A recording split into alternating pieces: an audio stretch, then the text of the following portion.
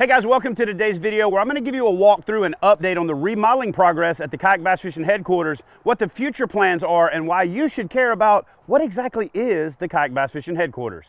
Fish on. That's a toad, brother. Golly. All right, so we're going to start off over here where I'm going to show you one of the things that we're going to have to wait a little bit on, which is we're going to take this window out and put a double door here, and then we're going to take the fence and go from this corner across so that we can come around the back and pull in and put kayaks all into our rigging shop. And that's where the vast majority of our product development, researching is gonna happen, but also, you know, where you knuckleheads can stop by if you're in town and we can help you rig your fishing kayaks out. For the front of the building, I gotta thank David Blankenship who drove over from Georgia and volunteered his time. Honestly, guys, without him and the support of this entire community, getting this project off of the ground and moving and progressing as fast as it is, wouldn't even be possible. So David took my vision of transforming the front uh, doors and windows into a billboard or facade and basically framed in the existing windows on both sides, framed the door in, and we used this distressed barn wood that was donated to us by Dan Hardy. And Dan is the chapter coordinator for the North Alabama Heroes on the Water chapter. So you know, Dan feels passionate about this facility because it's going to be a great place for us to meet uh, and have events with veterans in North Alabama or ones that want to travel in, you know, from all over the country. So I appreciate Dan for helping us out with this um, this uh, cedar that really gives us a really nice accent piece. Now, at Ditto Landing, there's a lot of development going on, and it's a big reason why kayak bass fishing chose to be here. For one, it's centrally located in North Alabama. Two, it's literally right on the water. Um, and right down the road from me, between here and the Ditto Landing Marina, uh, they've put in a huge road project to connect the Tennessee River waterfront with um, Hobbs Island Road so that it allows for future development of the waterfront with restaurants and shops and you know a whole bunch of other things that are planned. But what's really cool is the next phase of that is a road is going to be coming in off of the main road here directly into the front of the KBF headquarters. So the vision for the front of this building is to drop a couple of big columns off of the corners of this dormer, put something to cover uh, across the front, give it an accent piece, have some lights that shine up on our signs that are gonna go on both sides that are gonna talk about upcoming events, how you can find out more about who and what kayak bass fishing is, and give us an opportunity to grow, you know, our outreach in the community. And so to break up your eye line for the fact that a door even used to be there, again, we're gonna drop some columns, put a, you know, like a false fence there, and then hide the lighting behind that to shine up on the wall. The reason that that's pretty cool is it's going to allow us to have eyeballs coming in off of the main road. And then when we do our projects and our classes and our demonstrations out here in the cove that's off of the back channel of the Tennessee River, it's also gonna allow us to use this side of the building for when people are coming and going from the boat ramp. And this is actually a really busy boat ramp in the spring and summer and up into the later part of the fall.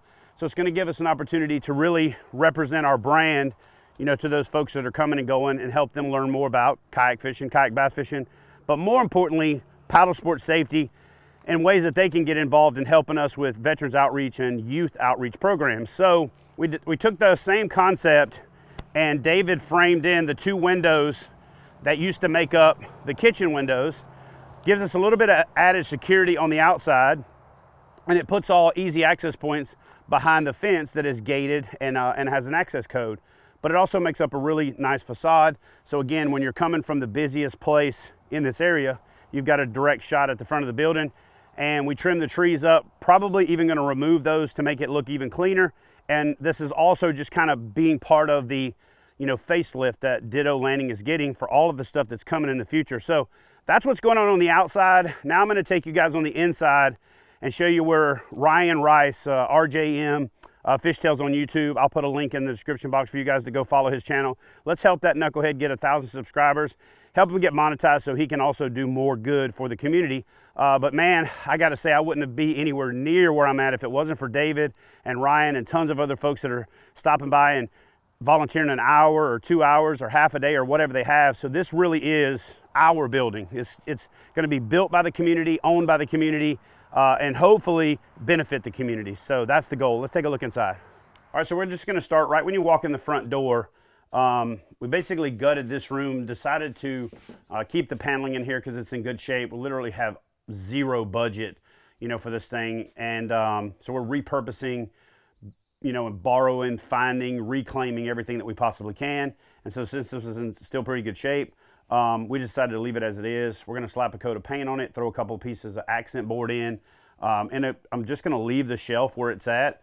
And then I've got to get a plumber to come in and kind of help me figure out some of this stuff here so we can put a washer and dryer in here down the road for when we teach classes where folks end up getting wet. We basically are going to use this as a mud room. Uh, we're going to build a bench in here, and that bench is probably going to be kind of an extension of the workstation, a charging station for batteries for folks that are, you know, filming with me or coming in on a guided trip or something like that. Uh, basically, just a power station where we can keep all of our Dakota Lithium stuff juiced up and ready for our next adventure. A uh, little utility closet right here that I got packed full of gear. Uh, and then coming on into the kitchen, this is where the real progress was made. And I'm referring to this as the kitchen because this was the kitchen. No longer the kitchen. And again, big shout out to Ryan. Ryan came in here with the vision and said, dude, listen, why don't we just cover the walls with plywood, throw in some extra supports and studs. That way it makes it easy for you to mount stuff to the wall if you want to put cabinets back up, you know, if you want to put grid wall for hanging tools and things like that. So we decided to go with the least expensive plywood we can find that still serves the purpose. And so this stuff right here, you know, isn't the smoothest finish, but I'm gonna get in here uh, with some caulk, caulk all the gaps, caulk all the, you know, the ugly spots, smooth it down. It's paintable caulk.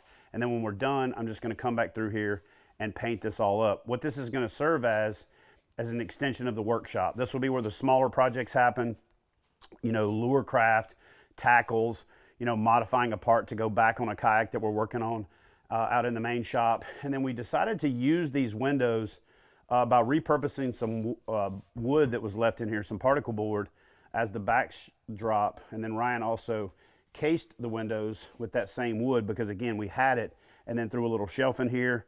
And we're gonna ultimately come up with some kind of facelift for this thing, put a strip across here, put a strip across here, hide some lights behind it, you know, do some stuff like this with some um, old trophies and, and trophies that had maybe a, a, a, a glitch or something. And uh, the folks at Yak Attack and Catch repurpose them, and then we can still use these. One of the things that's also happening, as you notice, I've got some signs pulled up. I've got some of these trophies out because what those are doing is they're serving as a reminder for me while I'm going through this project that I kind of took my eye off the prize for a little while. I got overwhelmed, I overcommitted, overpromised with KBF and these signs of our biggest events and the things that I, we're most proud of accomplishing are a reminder to get back to that. They're a reminder to, you know, stay grounded and don't try to do more than you can. And so again, when you see some of this stuff around, that's not any kind of brand placement for this video. It's actually me motivating myself. Every day when I walk in here and I see those things, it takes me back to like where we were then and then sets the pathway for me to get back there. So I know it sounds maybe corny, um, but it is what it is. I got to mention this because it's one of those things that I don't, I don't get to talk about enough, but the folks at Dakota Lithium really do power my outdoor passion, both financially and with the best gear in the game. And so um, this Power Box series, both the 60 that I've been using for this project and then the, the 135 that Austin's been using for a bunch of filming, keeping gear powered up on the road, keeping cameras charged is the best portable power in the game. We've been using it for this project and literally anywhere you don't have power, you don't have to worry because you got it with Dakota. They got your back. Uh, so Ryan built this awesome, like bulletproof um, work desk in here, or I'm sorry, uh, what am I calling this thing? I'm drawing a blank now. What's this called? Workbench. So it's a workbench desk. Anyway, so we got a, a pretty sweet workbench in here uh, with a lot of underneath storage for bigger stuff. We made it to where even if you're taller, you're not having to bend over, you know, and it's just going to be a cool place to create. The one thing that has happened to me over the last five to six years is, you know, with selling my shop, um, I took a bunch of stuff and threw it in storage. Then with getting married and kind of merging my life with somebody else's life, I just kind of threw a bunch of stuff in storage. So I've literally had, you know, my life in turmoil for probably six to 10 years. And what this is allowing me to do is really get back to doing the things that I love, which is developing awesome products, developing ideas that we all benefit, you know, in this industry. A lot of folks don't know this. Um, you know, I play a fat redneck on TV and in real life, but I have a um, aeronautical series of aeronautical degrees from Embry Riddle, and I spent most of my adult life in the aviation industry. You know, so a lot of the developments and advancements in kayak fishing I've been a part of, and, I've and I'm proud of that. But I got away from it for a few years, and so now it's time to get back into that part of my life to explore that part of my my makeup and the thing that really makes me happy. And I, I, you know, going through this process of the divorce and dealing with PTSD and learning how to grieve and all these other things, I also learned how to think about what's important to me and prioritize things and creating and building and making and sharing are those things that I love. Uh, you know, I spearheaded the remodeling of my shop when I had Hook One, and I think when it was all said and done, it was one of, if not the most beautiful shops in the country. And so that's what's really motivated me to take a hands-on approach to being involved in this. You know, even though these other knuckleheads are doing the vast majority of the work, I'm just running around trying to do everything that I can with my limited skill sets when it comes to remodeling, watching a ton of YouTube videos, checking out my buddy John uh, Malecki's channel, John the Builder, to just you know embrace that side of of creating, and it's it's been fun. So the vision in here is to fill these walls, sand them down a little bit in bad spots, and then just come in and paint the whole thing. Uh, we're gonna rip these floors out and just stain the concrete. I'm gonna make an accent wall over here and probably add a couple more cabinets. I'm gonna take all the cabinets that come out of here and figure out which ones will fit best there. And then we're gonna remount a set of cabinets there so we've got some, you know, some extra storage. Create a little accent wall over here.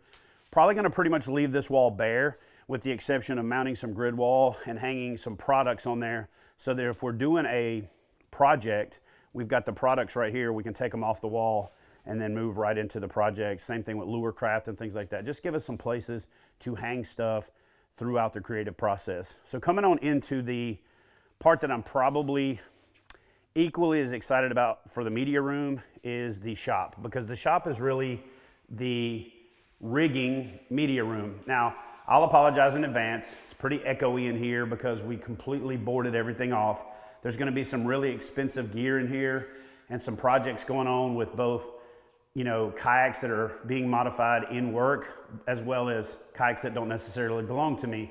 So I want this room to be like Fort Knox. If you come here and we're rigging your kayak out and it's taking more than a day, I want you to sleep at ease when we leave the kayak in here at night and we lock it up and we go home. And we're just gonna turn this into the ultimate rigging studio slash workshop. This is also one of the places where I want to flex my creative side. A lot of folks don't know this, but I'm actually an artist and I'm not breaking my arm, pat myself on the back, but I'm pretty dang good at it.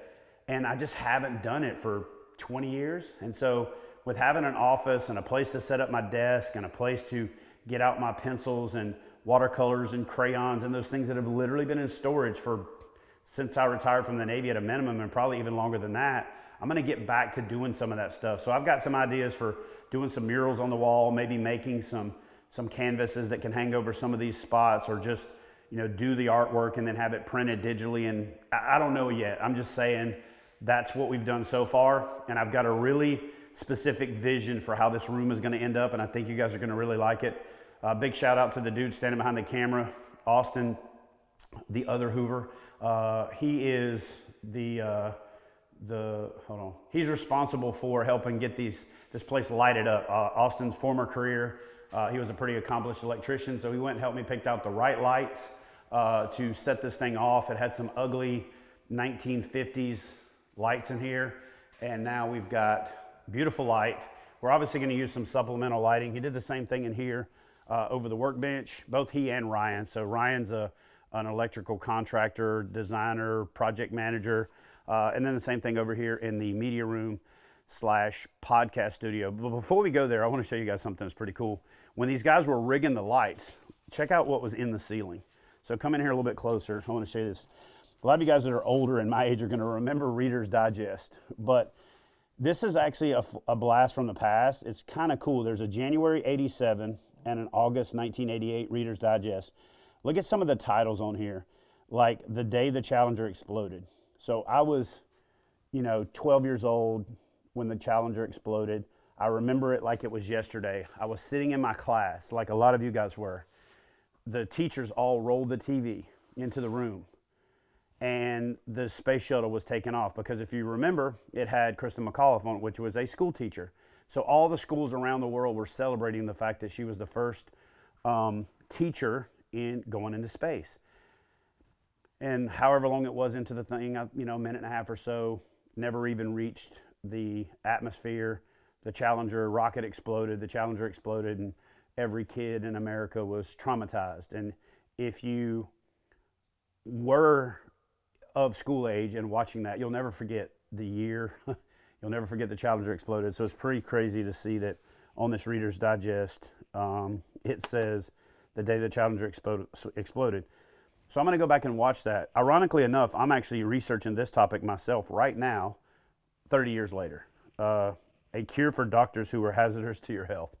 A lot of doctors' advice is based on telling you what's good for them because they get you know, supplementation from pharmaceutical companies and things like that. So I'm going to read that and kind of see where it's at. But check this one out right here. This one's going to be interesting. I'm really looking forward to reading this one because we probably live in some of the craziest times as a country. We're probably the most divided we've ever been. But I want to see what their thoughts were in January of 1987 when it says life in these United States on page 121. So I'm going to read that. Going to catch up on it. There's some really cool stuff on here uh, as well. Um, is English spoken here? Is one of the topics. Like, I don't even think you could write that article today. And um, a boy, a snake, and an angel. What? Confessions of a modern mom from almost 40 years ago. So, again, pretty cool find. Just shows you how freaking old this building is and how long ago these lights were put in and the last time somebody messed around inside these walls or inside the ceiling. So now coming on in here, this is going to be, as they say, where the magic happens. And when I say the magic, what I mean is this is where we're going to get to create the vast majority of our content. It's going to allow me to accelerate the sharing of knowledge, the sharing of expense, experiences. It's going to allow me to truly um, jump into the podcast creation thing because I don't want to just do podcast about tournaments anymore. I want to do podcast about things that make you better as an angler, things that give you insight. You know, uh, hook up with one of my friends who's an Elite Series pro, who's an accomplished jig fisherman, and have a full, you know, 45 minute to an hour discussion about how to be a better jig fisherman, where, when, why, how to fish jigs. And a podcast that's truly something that you can get entertainment from, but you also get value from it. Something that you can maybe come back to, you know, year after year uh, to make you a better angler. So that's what this studio is going to be for. It's going to be for shoot, shooting shorter form content. It's going to be for shooting discussion type format. It's going to be for bringing in, you know, friends and sponsors and you know all of the influencers that are team captains for the the Knucklehead Bass Fishing Series. And it's really just going to give me a a place to have an opportunity to create content without having to, you know, get the whole system set up every single time. Living in a camper, trying to use it as my podcast studio has been a pain in the butt because it takes, you know, 35, 45, an hour to get set up each time. Then you do the podcast and you have to break it down and it's where you live. So this is truly going to give us an opportunity to flex our creative muscle um, and dive into a lot of topics that are out there. You know, one idea that I have, and I'd love to hear you guys' feedback on it, is I think I want to do like a weekly roundup of all the best fishing videos that I watch that I think you should watch, provide commentary on it, and give you kind of like a one stop shop for finding the best videos just based on my recommendation, and then create a dialogue that helps those videos get more gets more blah, and create a dialogue that helps those videos get more views while simultaneously helping us grow the channel by interacting with those other channels and those topics. So you guys leave me a comment in the comment section below. Would you like to see like a Friday weekly roundup video series, if that, if that makes sense? Uh, so again, real simple in here. Uh, we've got this really cool table that uh, a gentleman named Mike McKinstry made for me a long time ago. We're going to use that table top as an accent piece, and then we're going to use this table. That's the one Mike made. Um, and we're going to use that as the podcast table. And uh, again, we're going to get this thing set up. Uh, we've got an old couch in here, you know, from the pre-divorce days that we're just going to throw in the corner. Um, the guys from Auburn had a really funny thing that they were going to do. Um, they called it the casting couch. I don't think we could get away with doing that, but I think it's funny that we're going to bring some folks in here and have some conversations before we go live and things like this. So this is going to be the like the make ready spot.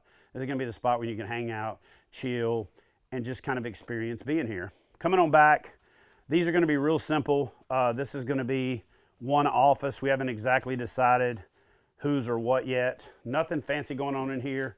We're actually just going to take all the nails out of the wall, paint the walls to give it a fresh look, probably paint the ceiling to brighten it up in here a little bit, replace the blinds, get rid of all this junk that's in here, and then just um, organize it. That's simple.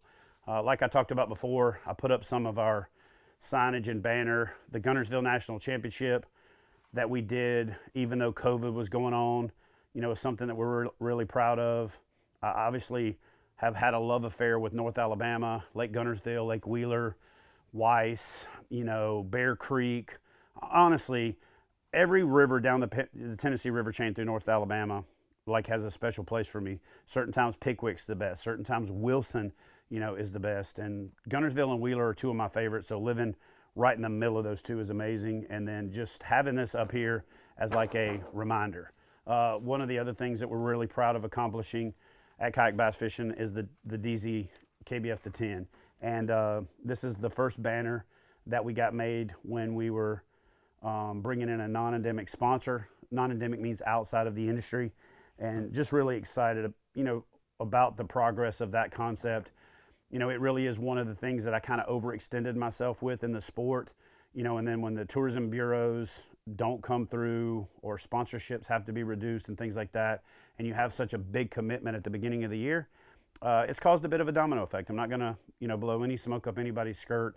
I've owned it publicly. It is what it is, and hopefully we can just put our heads down, get through it, and make it a um, a lesson learned as a business, as a business owner, and something that we never repeat in the future. So again, I've got these up here, you know, not to throw out a branding hit, but just to remind myself that you know this was one of the most challenging times we ever faced.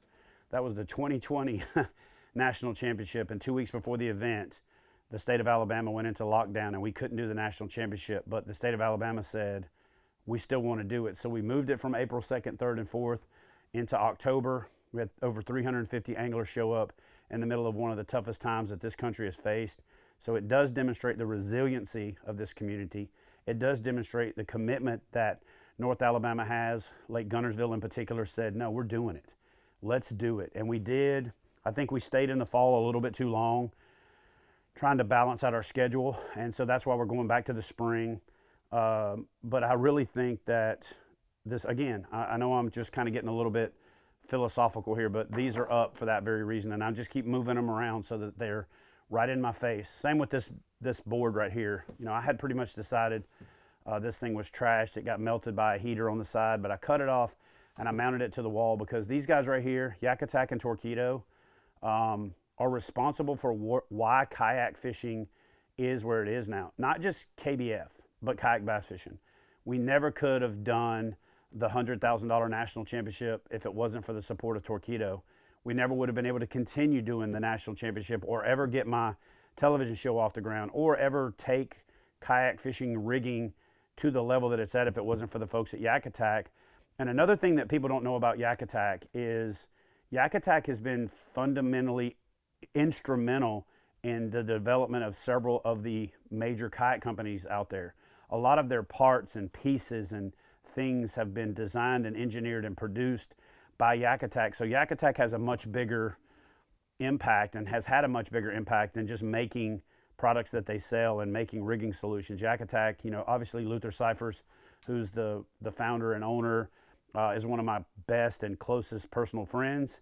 And uh, so there's that. But the fact is, this guy has brought me along for the journey. It's been a privilege to know him, and it's been a privilege to be associated with both of these companies because without Torqeedo, there wouldn't be Bixpy, there wouldn't be um, Newport vessels, there wouldn't be you know Minn finally being put into old towns because you know Johnson Outdoors owned motors before Torqeedo existed, but they didn't put them into kayaks. So these two knuckleheads right here have really supported me and together, KBF, Torqeedo, and Yak Attack have literally helped shape and change the future uh, of kayak fishing. And so it'd be easy for me to throw my hands up in the air and say, well, this tournament thing's not working. It's taken away from my content creation. It's costing me money. I'm just going to quit. So there's one thing I just want to look at you guys and tell you, especially the the folks that have bought into a lot of the stuff that's out there from the haters or the people that want to tear me down. I'm not quitting. I'm too stupid to quit. And I'm also all in. When I sold my business, you know, back in 2016, I reinvested every bit of it in KBF. I overcommitted over the last year, had some unfortunate domino effect things happened, put us in a really rough spot. We're going to get through it, and then we're going to start back at zero and figure out what's best, what's our best way to support and serve the community, whether that's less tournaments, whether that's no tournaments, whether that's the right amount of tournaments, probably a mix of all that. But again, this sign is here, these signs are here, those trophies are over there to remind me of where we came from, to some of the things that we should be proud of accomplishing. To, this one specifically reminds me that like this is one of the toughest things I and we as a country, as a company, and as a community ever had to go through. And if we can get through that, we can get through anything. Last one is kind of my office in here, like I talked about. Um, I'm a creative person. I um, I've got my drafting and drawing desk in here that I haven't drafted or drawn on in years. I've got some of my artwork up there that I haven't messed with in a long time. And so uh, it's time for me to kind of enrich my soul to do some of the things that I've neglected over the years. And I think it'll make me a better person. It'll make me a more balanced leader.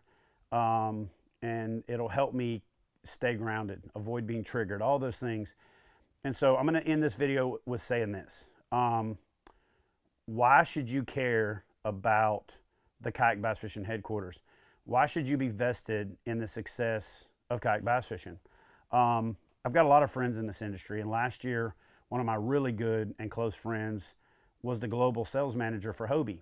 And we had a lot of conversations, and he actually reached out to me to ask me my opinion on the Hobie Bass Open Series and whether they should do it or not. And I was like, You absolutely should do it. you know, you should do it because it's beneficial to the brand, but the community deserves it. You know, from the outside looking in, a, a, a, lot of people would probably think, well, dude, that's your opportunity to, you know, act like you don't want it to happen, and then there will be less competition for KBF, blah, blah, blah. But that's not how I think. I don't think in the me first mindset. And, and I think the folks that know me and have known me for a long time understand that. And so to me, what's good for the sport is good for the sport.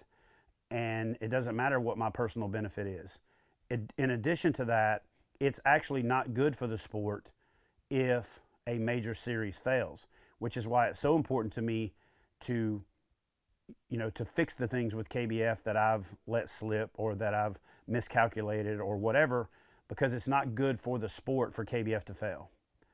It's not good for the sport for Hobie and the Hobie Bass Open Series to fail. Uh, I go all the way back to when the Kayak Bass Series was trying to come in and compete with KBF and they were struggling. I reached out to the gentleman that was running it, Terry Manley, and offered every bit of assistance I could to help them, even though they were trying to compete with KBF, because they had enough traction that I felt like it was important for them to succeed. And so for me, I'm not the guy that's out there bashing anybody else, any other series. If you're trying to help the kayak fishing community, I'm for it.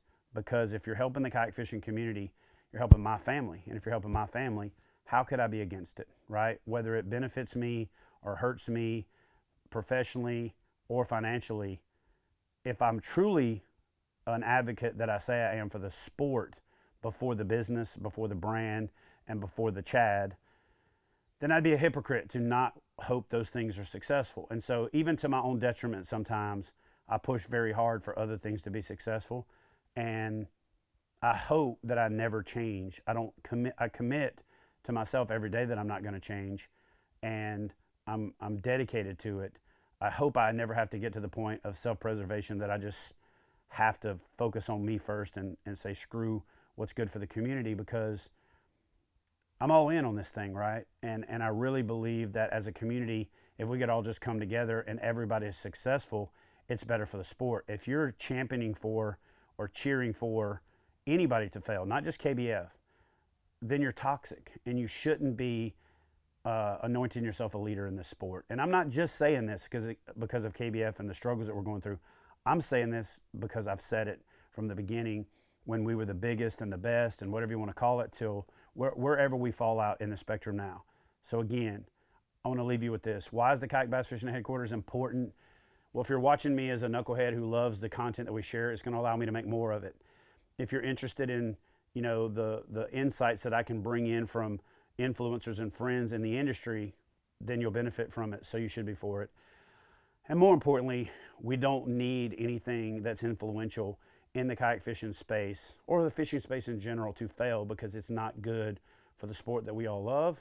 And that's not just me saying that because uh, I'm personally invested and all in and all that other good stuff. I've practiced that, I've preached that throughout my career in this space, and I hope you guys uh, understand and believe that, especially the ones of you guys that I care about, the ones that I don't. You're going to do whatever you're going to do, and it is what it is. But so that's that's it, guys. That's the walkthrough of the KBF headquarters. The process of going through the vision, the the process of making the adjustments and squeezing this thing out on a shoestring budget where folks are volunteering their time to help. It just really shows that the community is strong, the family is strong, the bond between you knuckleheads is strong, and I appreciate each and every one of you guys. I love you like you are my family because you are, and uh, yeah, we'll see you in the next video. And by the way, one kind of parting shot is Austin said before we started filming. He's like, "You know why Guntersville catches so many fish?" Or you what? What do you say? Actually, here, give me the camera. What you tell them what you say? Give me the. What did you say? Said, "Do you want to know why Guntersville has such good fish?" Okay, yeah. And by the way, he was over there across the room when he said that, and he's like, "Cause it looks like a zoom lizard." So if you really look at it, it kind of does. You got the legs. got the yeah, you got the yeah, you got it all. So anyway.